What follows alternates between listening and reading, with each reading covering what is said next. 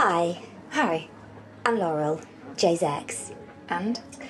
I just wanted to say that he's a really good man. He's kind and loving, a real gent. Listen, whatever your name is. Uh, Laurel. We split up a few weeks ago. Um, I dumped him, to be honest, but it was over a huge misunderstanding, and I owe him an apology. But it looks like he's moved on. Listen, me and Jai, it's not what you think. Oh, I love him so much. And I really hope that you two are happy together. But I've just found out that we're expecting our first child. Have you? I think you two need some space.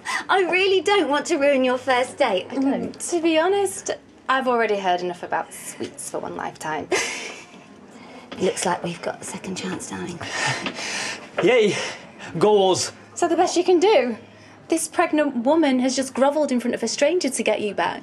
I, I, and I'm really happy about that because um, I really like you. Like her? Seriously? Go on. Give her a kiss. Go on.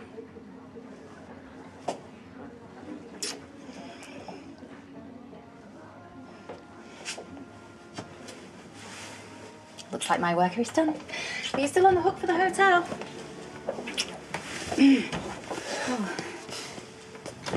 Your date is leaving the building.